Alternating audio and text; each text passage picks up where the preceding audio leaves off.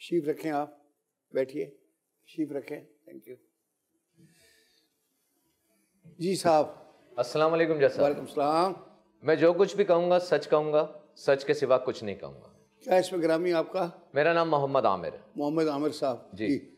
जैसा गुलशन के एक पोस्ट एरिया में आपकी क्या है? ये मेरी छोटी बहन है छोटी फायजा। फायजा। जी बेटा।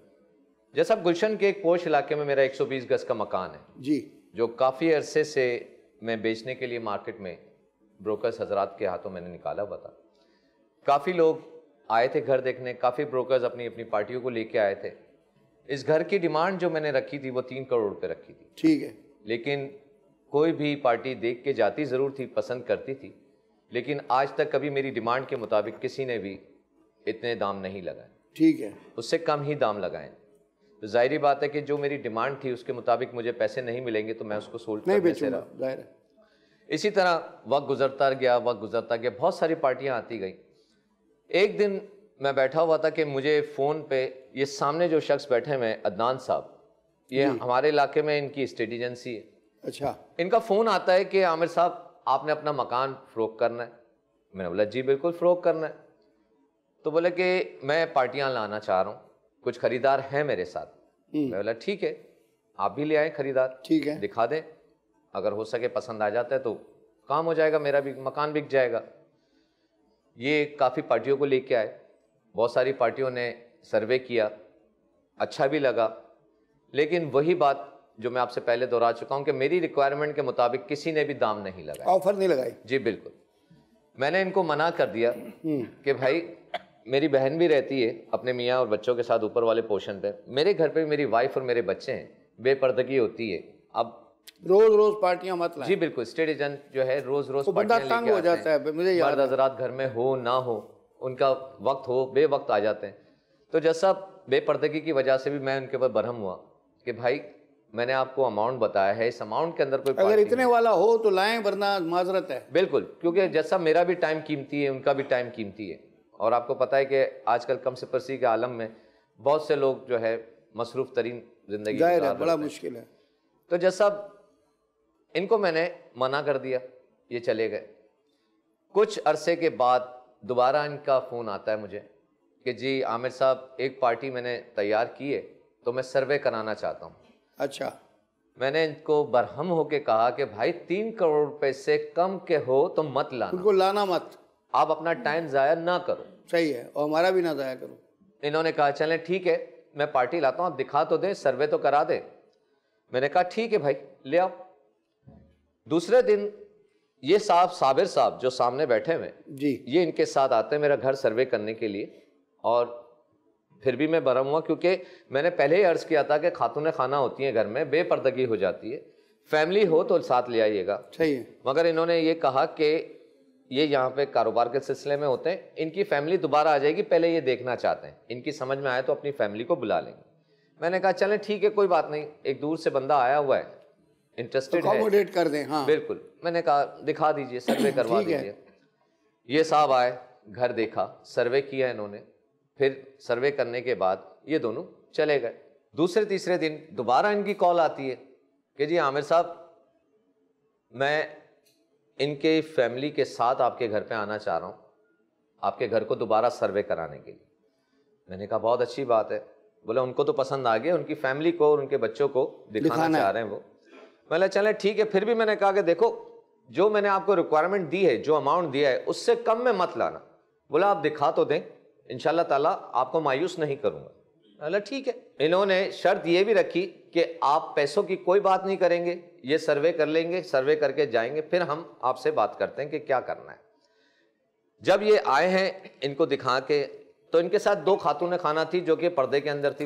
थी ठीक है इनकी खातन थी उन्होंने भी घर सर्वे किया उनको भी पसंद आया अच्छा सब कुछ देख दिखाने के बाद ये वापस चले गए दूसरे अच्छा। दिन। इनकी कॉल आती है दोबारा से कि जी मैंने आपके घर का सौदा कर दिया लेकिन मेरी एक शर्त है कि मैं दो परसेंट का कमीशन नहीं लूँगा मैं आपसे दस लाख रुपए का कमीशन लूँगा। दस लाख रुपए? जी। मेरा माथा ठंका कि मैंने बोला भाई कितने में सौदा किया? हम्म। तो बोला आप तो तीन करोड़ लेके बैठे हुए थे मैंने तो आपका सौदा साढ़े तीन करोड़ रुपए का किया। वाह। मैं फिर परेशान मैंने बोला कि तीन करोड़ रुपए की पार्टी नहीं ला सकते थे एकदम से वो साढ़े तीन करोड़ की पार्टी ले आए। बोला चले ठीक है दिल में लालच सा भी आया कि तीन करोड़ का सौदा नहीं मिल रहा था और यहाँ मुझे पचास लाख रुपए ज़्यादा भी मिल रहे मैं फिर इनको कहा कि ठीक है। तो बोला कि मैं कमीशन दस लाख रुपए लूँगा। मैं परेशान कि दस लाख रुपए की बात कर रहा है और कहा कि आधा कमीशन जब मैं आपको टोकन मनी दूँगा जब फ़र्स्ट पेमेंट एग्रीमेंट होगा हम्म। उस पर मैं पाँच लाख रुपए आपसे ले लूँगा। अच्छा। क्योंकि इनकी बातों से मुझे काफ़ी यानी कि ऐसा महसूस हो रहा था कि कुछ गड़बड़ सी है। लेकिन लालच जो थी वो ये थी कि तीन करोड़ की जगह पे साढ़े तीन करोड़ का मेरा घर बिक रहा था। मैंने उसमें दस लाख निकल रहे थे पीछे जी बिल्कुल चालीस लाख रुपए मुझे फ़ायदा हो रहा था। जी जी ठीक है। तो मैंने कहा चलें ठीक है। ठीक है। आप पार्टी को ले आए। ले आए। तो बोला कि मैं आपको टोकन मनी बीस लाख रुपए का करवा रहा हूँ फ़र्स्ट पेमेंट एग्रीमेंट पे। उसमें से आप पाँच लाख रुपए दे देंगे। मतलब नो प्रॉब्लम ठीक है आप आ जाए। ये साहब जो साबिर साहब हैं इनके साथ इनके एक वकील साहब भी साथ थे एग्रीमेंट लेके 20 लाख रुपए कैश लेके मेरे घर पे तशरीफ़ ले आए। गुड उस वक्त भी मैं इनके ऊपर कहा कि भाई अदनान साहब 20 लाख रुपए कैश लेके आ गए हो। आजकल तुम्हें पता है जमाना बड़ा खराब है। इतनी बड़ी रकम शाम का टाइम रात का टाइम मैं कहाँ रखूँ? अल्लाह ना करे कुछ उल्टा सीधा हो गया। मेरे घर पे लेडीज़ हैं बच्चे हैं। तो आप को मैंने कहा भी था कि मेरी जो हिस्सेदार हैं इस घर में मेरी सिस्टर भी है। मैं दोनों का ज्वाइंट अकाउंट नंबर आपको दे रहा हूँ। आप अकाउंट के अंदर मुझे पे ऑर्डर बना के दे दें दोनों के नाम का। ठीक है। क्योंकि जैसा मेरी बहन जो है वो भी हिस्सेदार है। मैं नहीं चाहता हूँ कि मेरे सौदा करने से इसके दिल में कोई मेरे लिए आए कि भाई ने अकेले में सौदा कर लिया कुछ पता भी दिल में आ कर दिया। कि सारी जायदाद को जो है मैं हड़प करना चाहता हूँ या जो भी है। तो मैंने कहा कि आप ज्वाइंट अकाउंट के पे ऑर्डर बना के हमारे नाम का दे दें। उन्होंने बोला ठीक है। वो हमारा नाम ले गए शनाख्ती कार्ड की कॉपी ले गए और अकाउंट नंबर ले गए। दूसरे दिन पे ऑर्डर बीस लाख रुपए का ले आए वो। फ़र्स्ट पेमेंट एग्रीमेंट भी और सब कुछ की सबके हजरात की मौजूदगी के अंदर एग्रीमेंट पे सिग्नेचर भी हुए। एक महीने की जगह पे इन्होंने तीन महीने का टाइम लिया हुआ था। ये खुश आइंद बात थी मेरे लिए भी कि एक तो चालीस लाख का फ़ायदा भी करवाया और तीन महीने का भी इन्होंने टाइम दिलवा दिया ताकि मैं आराम से दूसरी जगह ढूंढ हाँ सकूँ। तीन महीने आप रह सकते हैं घर जी बिल्कुल। तो जैसा हर तरह से पूरे मैार पे पूरा उतर रहे थे। मेरे कागजात की मैंने इनको फ़ोटो कॉपी दी जो कि इन्होंने वेरीफाई भी करवाई और पूरी इनको अच्छी तरीके से पता चल गया कि बिल्कुल जेनविन प्रॉपर्टी है। जी माशाल्लाह आप रह रहे हैं उसमें यहाँ जी बिल्कुल जिसमें क्योंकि तीस साल से हम रह रहे हैं। तीस साल पुरानी प्रॉपर्टी जी। बिल्कुल माशाल्लाह से। वेरीफाई कराने के बाद इन्होंने कहा कि जी साबिर साहब की और आपकी तरफ़ से पूरी कागज़ी कार्रवाई भी मैं कर लूँगा जो कि स्टेट एजेंट करता है। अखबार में इश्तिहार भी देना है वो अखबार में नो ऑब्जेक्शन का इश्तिहार भी दे देंगे। फिर इंशाल्लाह जब उसकी नेक्स्ट पेमेंट आएगी आप उसके ऊपर फाइनलाइज कर देंगे। मैंने कहा ठीक है। इस दौरान मैंने इनको पाँच लाख रुपए का इनके कमीशन का जो मैंने इनको जबान दिया, की चेक दे दिया। वो मैंने चेक भी दे दिया। क्योंकि इनको अशद ज़रूरत थी। हालाँकि मैंने इनसे कहा था कि पचास हज़ार ले लो लाख ले लो क्योंकि जैसा पाँच लाख रुपए बहुत बड़ी रकम होती है। और एक स्टेट एजेंट का इस तरीके से मांगना और इस तरीके से बर्ताव करना समझ से बाहर था। लेकिन फिर भी मैंने कहा क्योंकि लालच थी चालीस लाख रुपए मुझे ज़्यादा आ रहे हैं। एक्स्ट्रा आ रहे थे। और इनकी मेहनत भी सामने नज़र आ रही थी। तो मैंने पाँच लाख रुपए का आसरा ना करते हुए इनको कमीशन का चेक ले लिया। बाकी पाँच लाख रुपए इनसे मेरी बात हुई कि जब फुल पेमेंट वो आएगी तो दे देंगे। तब वो मैं इनको अदा कर दूँगा। ठीक है। जैसा चार रोज के बाद जब अखबार में इश्तेहार दिया उसके चार रोज के बाद हम्म। हमारे घर के दो दावेदार हम दोनों बहन भाई के अलावा आके खड़े हो गए। अच्छा।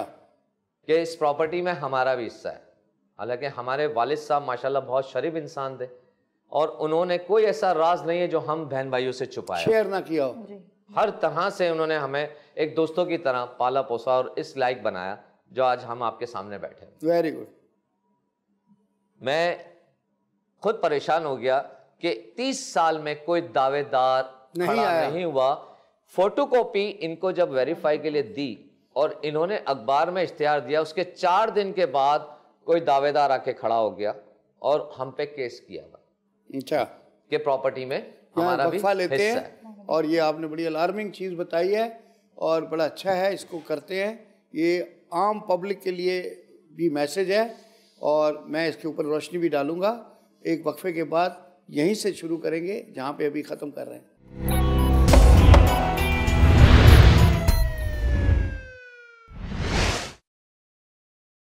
अच्छा जी वक्फे से पहले आप बता रहे थे कि जैसे अब दूसरे दावेदार आ गए दो दावेदार कॉपी दी कॉपी के चार जब इन्होंने अखबार में इश्तेहार दिया उसके चार दिन के बाद दूसरे दावेदार जो कि तीस सालों में मैं समझ गया कॉपी का रिलीज़ होना था तो गेम बन गया। आगे चले हाँ ये मैंने बहुत देखा है। तो जज साहब वकालत के दौरान भी देखा है। बिल्कुल। उस वक्त मेरा पांथा ठंका कि जब मैंने इनको पेपर दिया तब वो सारे दावेदार आ गए। जब उन्होंने अखबार में इश्तेहार दिया तभी सारे दावेदार आ गए। तीस साल से तो कोई दावेदार खड़ा नहीं हुआ।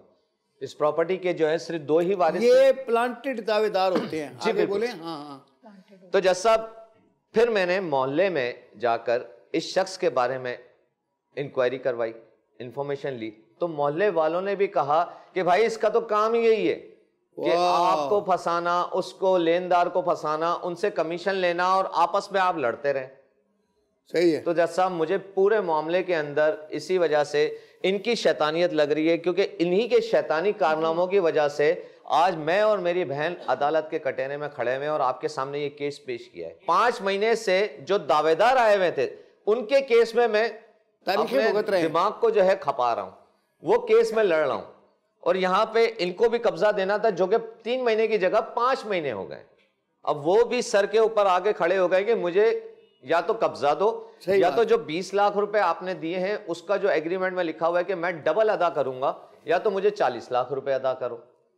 तो जज साहब ये यही तो गेम है ना यही गेम बनाया है। जी बिल्कुल। अच्छा। तो जज साहब हम शरीफ लोग हैं। जी जी। हमने आज तक कभी ना इस बारे में सोचा है ना कभी ये काम करने की तरकीब हमें मिली हँसते ही शरीफ लोग हैं इन चक्रों में।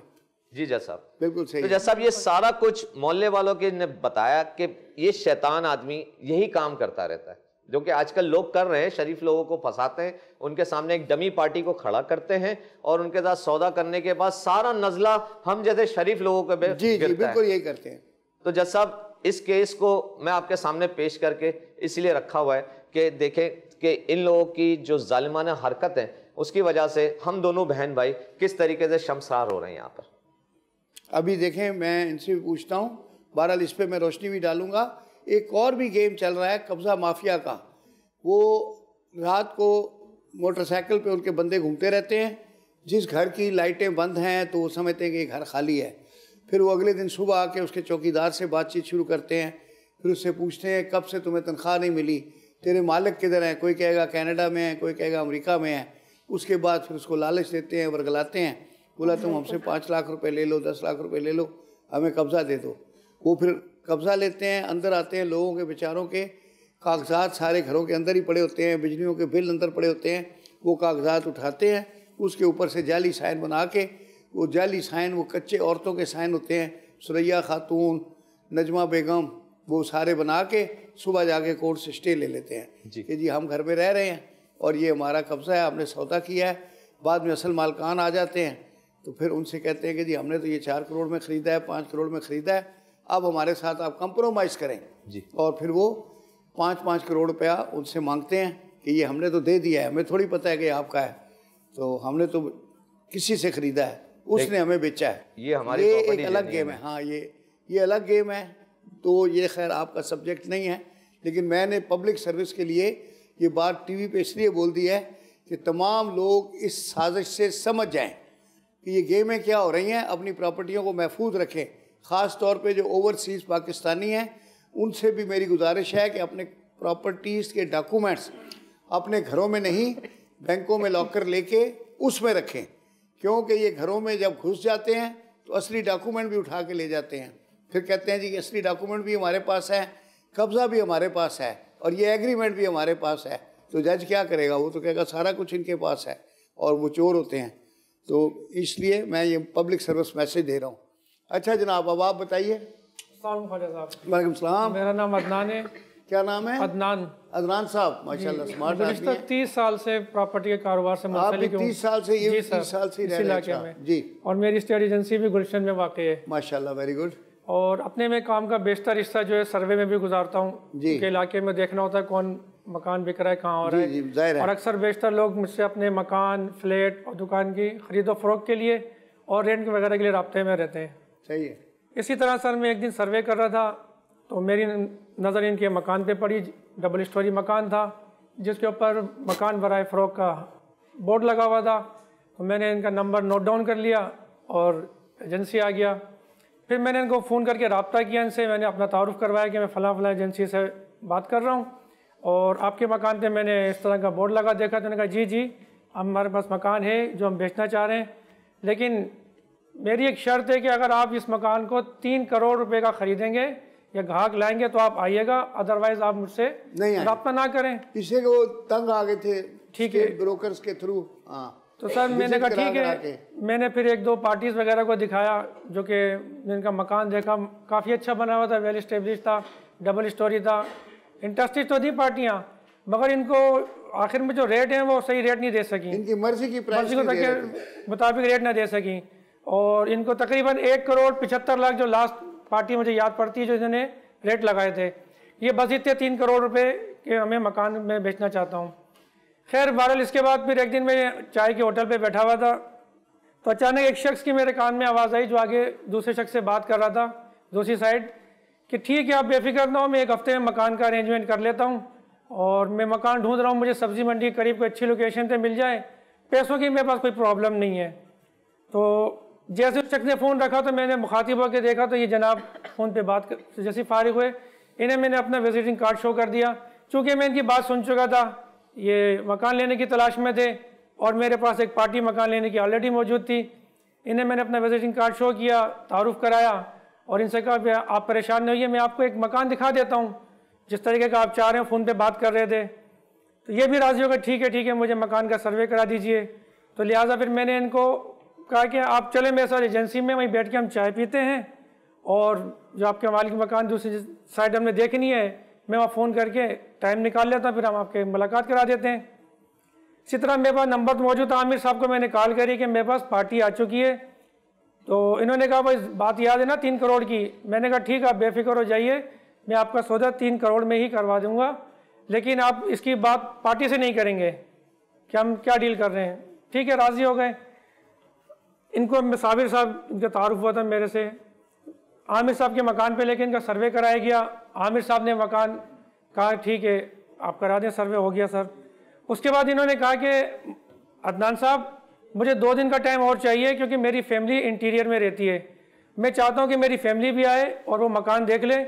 मुझे चूँकि मकान पसंद आ गया है, लेकिन मुझे अपनी फैमिली को भी दिखाना है, उन्होंने साथ रहना है। तो लिहाजा आप दो दिन का टाइम ले लें और ऐसे ही हुआ मैंने साबिर साहब से कहा ठीक है आप अपनी फैमिली को बुला लीजिए जैसा कहेंगी। साबिर साहब ने जाते मुझे ये कहा कि अदनान आपका मकान जो आपने दिखाया है मुझे आमिर साहब का बहुत पसंद आया है।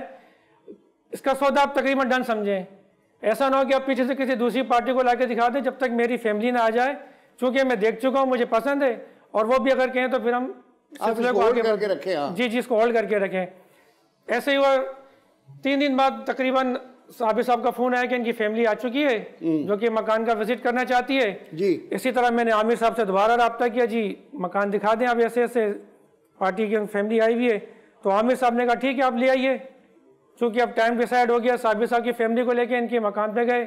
उन्होंने मकान वगैरह इनकी फैमिली ने देखा इनके साथ। तकरीबन उनको सब पसंद आ गया सब चीज़ फाइनल हो गई। तो साबिर साहब ने मुझसे कहा कि कीमत तो बताएँ कितने में सौदा दिला रहे हैं। तो साबिर साहब से मैंने कहा कि बात यहाँ नहीं करते हैं आप एजेंसी पे चलें वहाँ बैठ के आसानी से हम बात कर लेंगे। ठीक है जज साहब आमिर साहब से मैंने कहा कि जी आपके मैंने इनसे कर ली थी बात इनको कीमत में इनको मैंने कहा कि आपका मकान में साढ़े तीन करोड़ में साढ़े तीन करोड़ में बिकवा दूँगा। तो लेकिन आप इनसे तो बात करनी नहीं है जो भी बात होगी मेरे से होगी। तो जनाब हम साबिर साहब के साथ एजेंसी पे आ गए वहाँ पे साबिर साहब ने कीमत पूछी इनको मैंने चार करोड़ बताई। तो इन्होंने मुझे कहा चार करोड़ तो ज़्यादा है यार कुछ कम करो। चूँकि मैंने इनकी बातें सुन ली थी जब होटल पे ही बात कर रहे थे दूसरी तरफ़ के पैसे की मम्मत करो। तो मैंने सोचा मेरे पास ख़रीदार भी है बेचने वाला भी है और कीमत भी माकूल मिल रही है तो मैं जितना कम भी बढ़ा सकूँ अपना फ़ायदा देखूँ। तो मैंने इनको साढ़े तीन करोड़ बताए। बारह दस में चार करोड़ बताए थे साढ़े तीन करोड़ में हमारी डील फाइनल हो गई। जी सर। इस तरह फिर फ़र्स्ट एडजस्टमेंट पेमेंट के सिलसिले में हम साबिर साहब से बात करके बीस लाख रुपए लेके आमिर साहब के पास पहुँच गए। जब आमिर साहब को बीस लाख रुपए दिए तो आमिर साहब भरम हुए। कहने लगे, यार, आप मियाँ अदनान मियाँ, आपको पता है हालात कैसे हैं कराची के और आप बीस करोड़ रुपए ऐसे लेकर आ, बीस लाख रुपये सॉरी बीस लाख रुपए लेके आप ऐसे ही आ गए। मुझे ये कैश नहीं चाहिए पे ऑर्डर बना के लाइए आप, क्योंकि इस प्रॉपर्टी में मेरी बहन भी इसमें शामिल है। कल को वो मुझ पर शक व शुबात ना करे कि भाई ने मकान बेचने के चक्कर में पेमेंट लेके रख लिए। तो लिहाजा आप हम दोनों के नाम पे ऑर्डर बना के लाइए। तो जैसे मैंने इनका, इनकी सिस्टर का आईडी कार्ड नंबर और बैंक अकाउंट नंबर ले लिया और अगले ही रोज़ पे ऑर्डर बना के बैंक से हमने आमिर साहब को 20 लाख रुपए फ़र्स्ट टोकन के तौर पे दे दी रकम, जिसमें से पाँच लाख रुपए इनसे मैंने अपने कमीशन के तौर पे एडवांस में ले लिया क्योंकि जैसा मेरी बेटी की भी शादी अनकरीब थी तो मुझे भी पैसों की ज़रूरत थी। मैंने हाल बुकिंग के लिए उसको पैसे एडवांस देना था डेकोरेशन वाले को। तो पाँच लाख रुपये एडवांस मैंने इनसे ले लिए थे और पाँच लाख रुपये साबिर साहब से ले लिए थे। कि चले मेरा भी गुजार हो जाएगा बाकी पेमेंट रही और जब फुल पेमेंट हो जाएगी तो उसके बाद हम आप मुझे दे देंगे ये। हाँ अलबत्त मैंने आमिर साहब से ज़रूर कहा था कि मैं आपसे कमीशन तो नहीं ले रहा, बस सिर्फ़ दस लाख रुपये मैं आपसे लूँगा, क्योंकि मैंने आपका मकान साढ़े तीन करोड़ में बिकवा दिया है, और आप तो तीन करोड़ में चाह रहे थे। खैर, जैसा सब कुछ ऐसी सिलसिला सही रहा। फिर इनके डॉक्यूमेंट वगैरह मैंने रजिस्ट्रार से चेक करा लिए थे, उसमें कोई ऐसा इशू नहीं था। दोनों बहन भाइयों के नाम था। चूँकि जब मैंने अखबार में इश्तहार दिया तो उसके चौथे दिन बाद इनके दो दावेदार आ गए। इन्होंने मुझे फ़ोन करके बताया, आमिर साहब ने कि आप मैंने आपको जब से डॉक्यूमेंट की नकुल दिए तो दो दावेदार आपने भेज दिए। अब जब साहब मैं भी परेशान हो गया कि शायद अब ये मकान नहीं बेचना चाह रहे हो, कोई मेरे साथ वो कर रहे हो कि भाई आपने पार्टी वगैरह भेज दिए? मैंने कहा, चले देखते हैं लेट सी इधर से साबिर साहब भी मुझ पर रोज़ बरोज़ फ़ोन करने लगे कि, भाई, वो पेमेंट वगैरह हो गई है, चूँकि मुझे अब कब्ज़ा चाहिए, जल्दी से कब्ज़ा दिलाएँ। अब कब्ज़ा हमने तीन महीने में देना था, लेकिन अब तीन महीने से ज़्यादा का अर्सा गुजर चुका था, पाँच माह हो गए। अब साबिर साहब मुझे रोज़ बरोज़ मुझ पर ज़ोर कर रहे हैं कि भाई नहीं तो अगर मकान सामने वाली पार्टी नहीं दे पा रही है, आप स्टेट एजेंसी हो, आप जामीन हो बीच में, आप क्या कहते हैं उसे डबल टोकन मनी के तौर पर रिटर्न करवा दें। तो मैंने आमिर साहब से भी यही कहा कि अगर आप मकान नहीं ले पा रहे हैं तो आप उनकी डबल रकम वापस कर दीजिए, जो कि हमने 20 लाख दिया था आप 40 लाख रुपए रिटर्न कर दीजिए। और जज साहब मैंने तो इनकी फेवर ये तो एक महीने का टाइम मांग रहे थे मैंने इनकी फेवर में तीन महीने का टाइम दिलाया इनको नब्बे दिन का। और ताकि ये आसानी से सब कुछ अदा कर सकें। तो लेकिन ये वक्त पे पेमेंट नहीं दे पा रहे इधर मुझे साबिर साहब तंग कर रहे हैं। तो जज साहब अब इनके जो दावेदार आ गए भला मुझे क्या मालूम कहाँ से आ गए अब ये तो ये जाने इनके काम जाने। अब मुझे क्या मालूम कि वालिद साहब ने पीछे शादी करी हुई थी कि थे या नहीं। क्योंकि जैसा मेरे पास जो डॉक्यूमेंट थे रजिस्टर ऑफ़िस से मैंने चेक करवाए थे वो इन दोनों के नाम थे। अब जबकि ये मुझ पर दावा करते हैं कि आप लेकर आ गए तो जैसा मैंने तो मेरा तो इसमें था ही नहीं। मुझे तो सिर्फ़ कमीशन चाहिए था। मेरे पास बेचने वाली पार्टी मौजूद थी खरीदने वाली पार्टी मौजूद थी। मुझे अल्लाह अल्लाह कमीशन बनाना था। मेरी बेटी की चूँकि शादी थी तो मैंने शुक्र करना था मेरी तो बेटे बेटे सब लाठी निकल आई। कि दोनों पार्टी में मौजूद है। दोनों तरफ़ से पैसे मिल गए। बस मेरा तो इतना किरदार था। अब जबकि ये सब रफड़ा आ गया है अभी ये केस आपके पास लेकर आ गए अब आप इसी केस का फैसला कर दीजिए। देखिए अब आप भी प्रॉपर्टी के बिज़नेस में तीस साल से हैं। जी सर। अभी एक वक्फा लेते हैं इसके बाद आगे आपकी कहानी यहीं से शुरू करते हैं।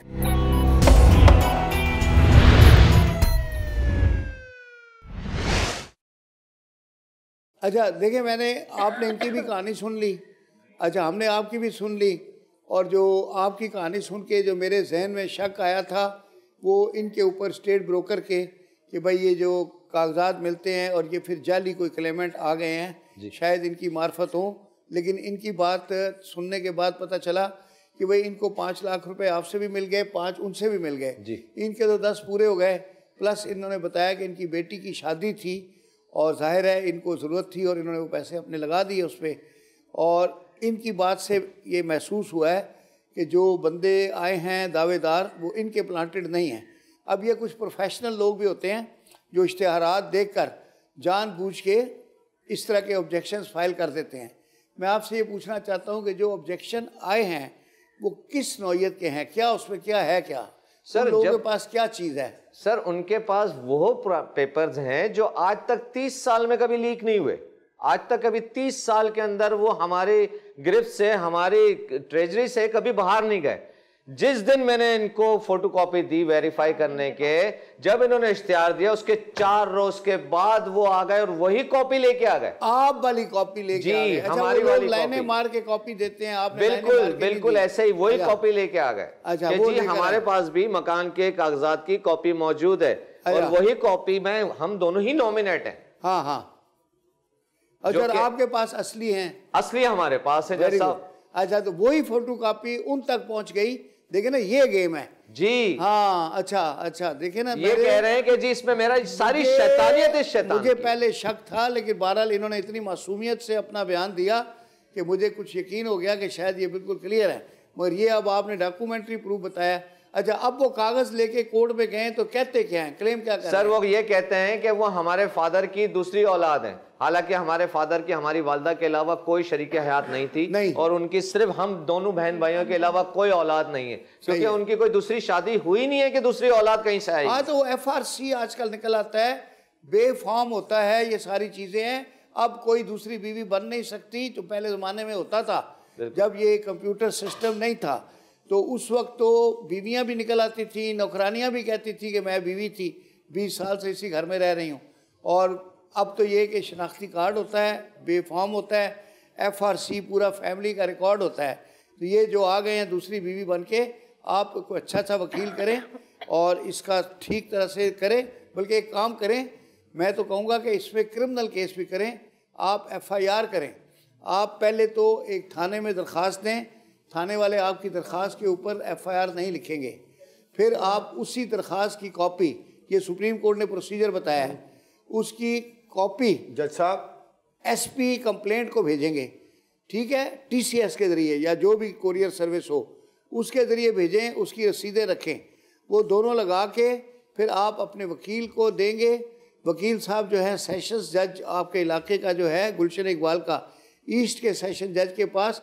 22 ए जबता फौजदारी की एक दरख्वास्त दाखिल करेंगे ताकि एफ़ आई आर रजिस्टर की जाए कि उनके इलाके में कॉग्निजेबल ऑफेंस हुआ है और मुलजमान भी मौजूद हैं और ये मुलजमान के नाम हैं ये इनका पता है प्रपोज एक्यूज भी लिखते हैं लोग। उसके बाद जैसे ही आपके एफ़ आई आर हो जाए फिर वो पुलिस उनको उठा लेगी। वो जो दावेदार आए हैं आपके अब्बा की दूसरी बीवी वाले जैसे ही उनकी छितरौल होगी वो फ़ौरन बोल पड़ेंगे कि उनको किसने दिए हैं कागज़ कहाँ से आए हैं। फिर ये भाई साहब भी मंजर आम पे आ जाएँगे। जज साहब बस जी। थोड़ी सी गुजारिश है। जी, साहब ये भाई शैतान है वो फरिश्ते हैं मगर मैं किस खाते में घिसी जा रहा हूँ? ही के मुझे थोड़ा तो सा मेरी गुजारिश मुझे सारी मेरा नाम लिए सजाई है सर मैं मेरी मेरा नाम अस्सलाम वालेकुम। पहले तो मैं आपको कहूँगा सर मेरा नाम मोहम्मद साबिर है। जी जी। और मैं वो मैं समझ गया आपने घर खरीदा है आपने अंदरूनी बीस लाख सिलसिले- रुपया हाँ, बयाना। दिए हैं। पाँच लाख इसके दिए आपका पच्चीस लाख का इन्वेस्टमेंट हुआ हुआ है। जी, सर। अच्छा अब उनके डॉक्यूमेंट्स बिल्कुल क्लियर हैं। अब उन्होंने वो डॉक्यूमेंट जो तीस साल से इनकी अलमारी में पड़े हुए थे कभी उनको बाहर हवा नहीं लगी। अब इन्होंने चार दिन पहले इनको दिए और वही डॉक्यूमेंट्स वो बता रहे हैं कि जो हमने क्रॉस लगा के दिए हैं वो डॉक्यूमेंट्स उनके हाथ में हैं और वो इनके अब्बा की कोई दूसरी औलाद बनकर आ गए हैं। अच्छा उनकी डीएनए भी करवा लेंगे कोई मसला नहीं है। साबर साहब आपके पैसे महफूज हैं मकान भी महफूज है कहीं नहीं जाता।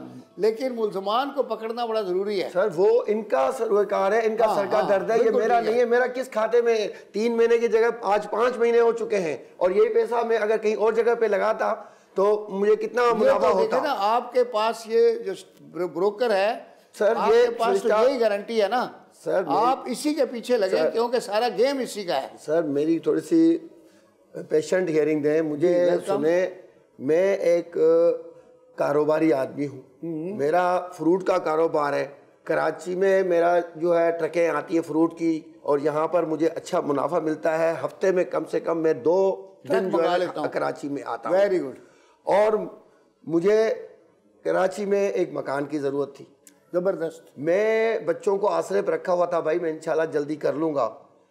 एक दिन मैं होटल पे बैठा था अभी बैठा ही नहीं नहीं तो वो इन्होंने बात सारी बता दी। हाँ। अब बात यह है कि कहानी आके वहाँ रुकी है। वो कहते हैं ना कि कश्ती वहाँ डूबी जहाँ पानी कम था।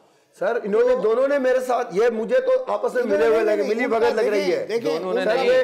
दोनों ने नहीं। मेरा नाम मत घसीटे उनका मकान अपनी जगह मौजूद है। उस घर में वो तीस साल से अपने बाप के साथ रहते थे। अभी तो ये खैर बच्ची तीस साल की भी नहीं मैं है। इंडेफिनेटली मैं इंतज़ार वेट नहीं कर सकता। हाँ, मेरी। थोड़ी गुजारिश सुन ले।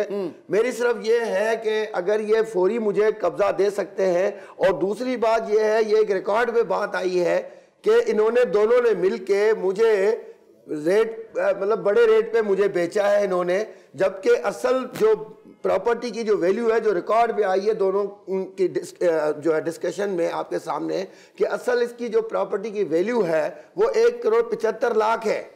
नहीं अब वो बात ये है कि एक करोड़ पचहत्तर लाख में तो उसने दी नहीं ना।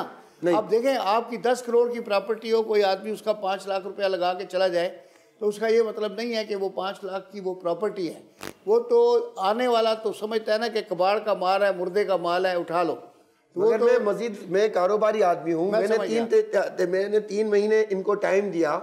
उसके बाद दो महीने और गुजर गए। मुझे अभी तक कब्जा तो इनके हाथ में मुझे कब्जा दे दे। मुझे कब्जा दे दे और मेरा किस और मैं मैं खुद ही जो भी अगर दावेदार है अल्लाह ने मुझे इतनी ताकत दी है आप खुद भी करो नहीं वो कर लेंगे। देखिए मैं आपको बताऊँ हाँ। आजकल दावेदार कोई झूठा बन नहीं सकता। भाई, कैसे फ्री में मैं कब्जा दे दूँ आपको? नहीं भाई ठहरे। अब ये है कि अदालतों के चूँकि सिस्टम है तरीके से चलते हैं तो उसमें थोड़ा टाइम लग जाता है। लेकिन जो झूठे दावेदार हैं ना सिर्फ़ वो पकड़े जाएँगे बल्कि उनके ऊपर कॉस्ट भी लगेगी। और ये पुलिस का जो बता रहा हूँ, उसमें वो जेल भी जाएँगे। इसमें क्या है कि थोड़ा सा आपको सब्र करना पड़ेगा और ट्रस्ट करना पड़ेगा।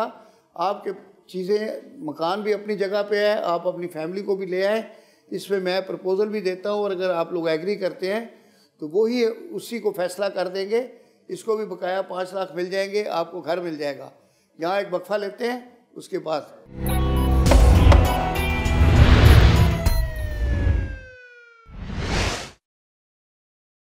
अच्छा साबिर साहब, मैं आपकी जो सिचुएशन है ना, पूरी मतलब रियलाइज़ कर रहा हूँ और मतलब आप इसमें टोटल इनोसेंट हैं भारत सारे इनोसेंट हैं मेरे ख्याल में। अब ये है कि जिसने भी गेम किया है, ये प्रोफेशनल होते हैं जाली। जिस तरह कोर्टों में ऑक्शन होती है ना, उसमें तीन चार बंदे एक जाली पे ऑर्डर बनवा के आ जाते हैं और वो अपनी बिड डाल देते हैं। जाली बिड होती है और वो सिर्फ़ दूसरे आदमी को जो एक्चुअली लेना चाहता है जगह, उसको परेशान करने के लिए और उससे ऊपर के पैसे लेने के लिए। फिर उसे कहते हैं कि भई ये हमने उठाना है। तो वो बेचारा जो लेना चाह रहा होता है, वो फिर उनको पाँच लाख, दस लाख रुपए ऑफ़र करता है कि भाई तुम दस लाख ले लो, हम हट जाते हैं। और इस तरह से फिर वो प्रॉपर्टी आपस में कुलियन करके ओने पौने दामों लेके चले जाते हैं। तो अब इसमें जो आप वाला गेम है ना, इसमें क्या है कि ये प्रोफेशनल लोग हैं जो ऑब्जेक्शंस डालते हैं। इनके पास कुछ होता नहीं है, सिर्फ़ लोगों को तंग करने के लिए जैसे प्रेशर पड़ेगा तो पार्टी हमें कोई दो चार लाख रुपए दे के विड्रॉ करवा लेगी। तो विड्रॉ हो जाएगा तो बस वो बंदे चले जाएँगे, उनकी दिहाड़ी बन जाती है। ये दिहाड़ीदार हैं। तो अब मेरा एक प्रपोज़ल है, वो ये है कि देखें, आपने पैसे माशाल्लाह पच्चीस लाख रुपए दिए हुए हैं, बीस उनको दिए हैं, पाँच उनको दिए हैं वो भी मकान पाँच इसको भी दिए हैं ना। हाँ कमीशन दिया है हाँ, उस अच्छा वो पाँच उसको उन्होंने दिए दी। आपको तो दस पूरे मिल गए। अच्छा अब क्या है कि मेरा प्रपोजल ये है कि आपको आपका घर मिल जाए और आपके ये पैसे भी सिक्योर हो जाएँ। अच्छा बात यह है कि मकान का जो टाइटल है वो क्लियर है। तीस साल से एक फैमिली उस घर के अंदर रह रही है। अगर कोई दूसरी बीवी थी तो वो दूसरी बीवी क्यों नहीं आई उस घर में? और वो दूसरी जो बीवी के कोई बच्चे थे वो कभी नहीं आए। प्लस ये है कि आजकल जो लॉ है एफ़ आर सी का है डी एन ए का है, और ये पुलिस रिपोर्ट भी करवा रहे हैं। मेरा कहना ये है कि एक प्रपोज़ल है, अगर आपको कबूल हो तो उस पर कर देते हैं कि आप बैलेंस पेमेंट करके इनसे मकान का कब्ज़ा ले लें, अपनी फैमिली को शिफ्ट करें, आप वहाँ रहना शुरू करें। और जो ये और आप, आपको इंडिमनिटी बॉन्ड लिख के देंगे बाकायदा कोर्ट में कि भाई अगर टाइटल ऑफ़ द डॉक्यूमेंट्स में किसी किस्म का भी कोई नुक्स हुआ तो ये आपको इंडिमनीफाई करेंगे आपसे पैसे वापस करेंगे आपसे मकान ले लेंगे। आप भी लिख देंगे कि भाई मैं मकान वापस कर दूँगा और अपने पैसे ले लूँगा।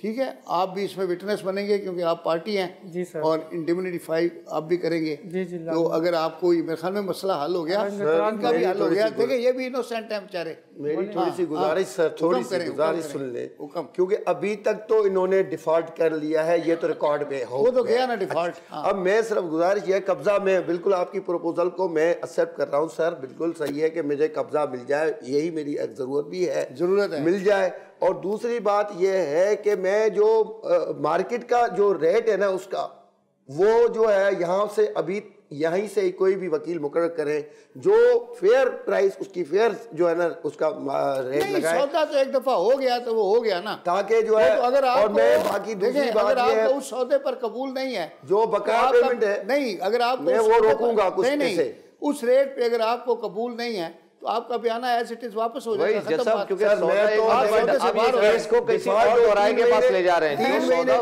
डन हुआ है जज साहब आपने भी इस चीज़ की हाँ, तारीफ़ कोई मैं इनसे कह रहा हूँ ये केस को अब दोबारा लंबा नहीं नहीं नहीं अगर ये सौदे से निकलना चाहते हैं तो ठीक है इनका कितना बीस लाख रुपए आया है पाँच उनको दिया है। सर, तो आप पंद्रह उनको दे दें और पाँच वो दे दें और सौदा कैंसिल कर दें। आपका दोबारा बिक जाएगा। ठीक मैं मसला- और एक दफ़ा मार्केट में जब घूम जाएगी बात कि ये मकान साढ़े तीन करोड़ का बिका था तो हर बंदा साढ़े तीन से ऊपर ही ऑफ़र लगाएगा उससे कम नहीं लगाएगा। Exactly. सर ये इनको दोबारा नहीं मिलेगा। सर ये भली दस करोड़ का बेचे। मुझे जो मेरा मैं कारोबारी आदमी में ज़्यादा मजीद इंतज़ार नहीं कर हाँ, सकता। हाँ, मुझे बीस पच्चीस के डबल मुझे मिलने चाहिए अब डबल नहीं मिलेंगे ना मुझे क्योंकि मैं डिफ़ॉल्ट तो कर लिया ना सर। रिकॉर्ड पे ये चीज़ आ गई तीन जैसा महीने मैं का कब्जा देने के लिए तैयार हूँ। तीन महीने का टाइम था उसके खत्म हो गया। वो तो ऑब्जेक्शन आ गया ना तो उसके लिए कुछ नहीं हो सकता। अब उसमें ये तीन- आ- आपको कब्जा दे रहे हैं। ये clear अगर आपको कब्जा नहीं लेना तो आप अपने बीस लाख रुपए वापस ले लें और हाँ मुझे वापस दे दे मुझे वो मुझे नहीं मुझे पैसे वापस चाहिए डबल। नहीं तो डबल नहीं मिलेंगे मैं डबल नहीं हूँ मिलेंगे। डबल का कोई नहीं। ठीक है बस मुझे चाहिए हाँ, पैसे हाँ। वापस। हाँ, ये बीस है ना- आपको वापस हाँ। दे देते हैं पंद्रह करेंगे पाँच जो है इन्होंने इसको दे दिए हैं। आप इनसे अपने पाँच ले लें। और पंद्रह लाख दे के मकान का जैसा मैं तो इनको मकान का कब्जा भी देने के लिए तैयार हूँ। मुझे पूरे 25 पैसे चाहिए क्योंकि डिफ़ॉल्ट इन्होंने किया है मेरी तरफ़ से और वो तो खत्म हो गया ना। वो डिफ़ॉल्ट किया वो कह रहे हैं भाई आप मकान उठा लें आप ये इनकी ज़िम्मेदारी थी ये पहले से अपनी चीज़ें हूँ तो हूँ। है। हमें नहीं मालूम कि आप भी इसमें शामिल हो ये जाली जो क्लेमेंट्स दाखिल किए हैं हो सकता है ये आपके बंदे हों। जैसा तो मुझे भी मेरे शक समझ जैसा भी इन दोनों की शैतानियत है कोई ऐसी हो सकता है इसकी भी ना हो इनकी नहीं मेरे मैंने तो एक मेरे तो इनकी खराब लग तो रही है क्योंकि इनके मकान की कीमत जो लगी थी लास्ट टाइम एक करोड़ पिछहत्तर लाख लगी थी। अब जबकि मैंने साढ़े तीन करोड़ लगा दिए क्या पता इनकी नीयत भाई बदल है। नहीं, वाले वो तो तो एक रुपया भी लगा के जाएँगे। तो मैंने लगाई है ना। मजीद बात आगे निचारों के से ज़्यादा मेरी बात ये है ना सर नहीं से ज़्यादा नहीं बात ये है कि वो साढ़े तीन करोड़ में देने के लिए तैयार है। ठीक है अब ये ही लेने से मुकर रहे हैं तो लिहाजा ये अगर पीछे हट रहे हैं तो इनका अपना बयाना इनको वापस मिल जाएगा अव्वल तो फिर ये मुझे अभी पता चल गया उसकी मार्केट इतनी नहीं है। सर अभी वो हाँ। केस चल है।